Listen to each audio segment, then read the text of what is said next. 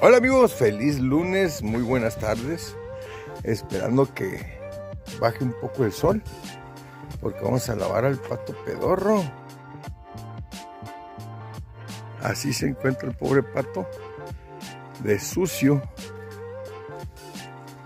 Pero ya bajando el sol, miren cómo está de sucio. Y mañana ir a descargar con el cliente temprano. Como en la arena. Nomás espero que baje el sol. Y fuga.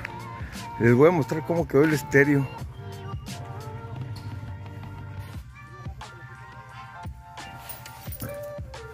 Chequen el estéreo. Ese estéreo lo tenía cuando tenía el Prostar.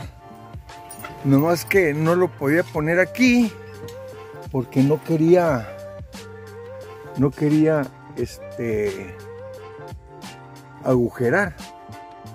Entonces me di a la tarea de de ir con un carpintero y me hizo el carpintero esta base sin necesidad de agujerar. Chequenle. Es un marco de madera. Ya nomás espero que lo conecten. Es un estéreo que tenía en, Astorga, ¿se acuerdan del Prostar que tenía? Eh, hasta se ve chido ahí, miren.